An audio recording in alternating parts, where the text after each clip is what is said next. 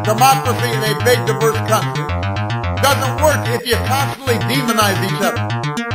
And I mean that literally, by the way. There, I, I, was, I was reading the other day, there, there's a, a guy on the radio said we smell like smoke. Ain't that something?